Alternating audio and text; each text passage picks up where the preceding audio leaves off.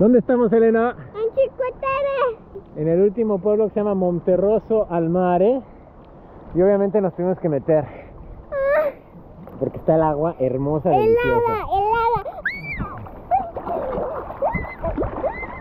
Y el mar está espectacularmente azul.